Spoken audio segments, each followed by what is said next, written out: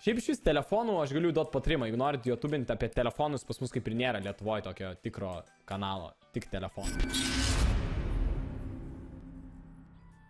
Ką, ką turiu menį? Ai, mums CT suspektą parodė, kai mes žiūrėjom. What? Kas čia buvo? Nežinau, nežinau, sen keista. Mobų kovas padaryti telefonų. Telefonų šiaip video norėčiau padaryti. Tipo, šiaip turiu video idėją telefoną. O su kompų kovom, su kovom, kov, kovų nereikia imti formato visada palyginimų. Kompų kovos aš norėčiau lit kaip kovos, va, ties kompais parduotuvėm, ten yra 5 raundai visą kitą. O su, su telefonų kovom ar kom ten, sakau, šiaip turiu telefonų idėjų. Reikia, reikia padaryti, ką aš pastebėjau, Hebra, aš jums kaip youtuberio galiu duoti patarimą.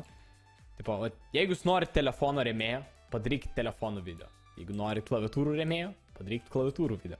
Nes aš jums nuoširdžiai pasakysiu, kai aš padarau kažkokį va tokį video, man iškart sekančią dieną parašo bent keli kažkokį tinklapį ar kas. Nu, tipo, kai tas video prasimuša, nu, kokias 10 štukų peržiūrų surenku, toks jausmas iškart remėjai, sponsoriai ir kažkas atsiranda. Taip, instantly.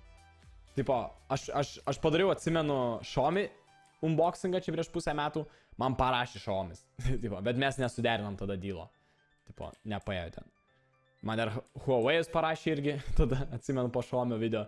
Aš ne vieno video nedariau apie telefonus. Padariau tiesiog unboxingą iš karto. Tada atsimenu, kažką padariau irgi ten su telefonais, ar ten šiaip technika, man Razeris tą parašė. Irgi, kad telefono nori. Tiesiog. Šiaip iš vis telefonų aš galiu duoti patrimą, jeigu norit YouTubinti apie telefonus, pas mus kaip ir nėra Lietuvoje tokio tikro kanalo, tik telefonam.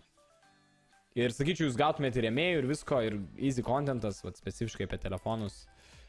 Nėra kažkas tokio, wow, protingų reikia būti, telefonai gan daugumai ten ekrano dydis, spekai, pasidarai testų porą pafilmuoju. Aš tai tingim ir šiaip manęs telefonai nelabai domina. Kažkada buvau telefonų mėgėjas, kai tik vat Androidas išpopuliarėjo, tada aš jį rūtindavau, custom romus instaliuodavau, ten viską darydavau su telefonais, bet kažkaip atsibodo man. Po to jau vos ne Apple lygio mąstymo tapau, aš norėjau telefoną, kuris tiesiog veiktų ir su juo nieko nereikia daryti. Tai va.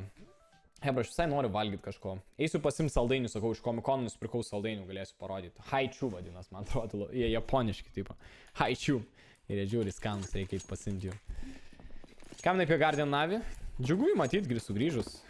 Aš, aš esu Navi fanas, kai jis tada buvo žaidė.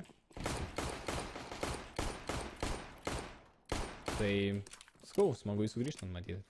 Kaip manai, Kenėso Elviduko vertė Manau, kils? galima eiti. O, Minskai turėtų kilt, turėtų. Einam, čia bandom. Jie varom į B.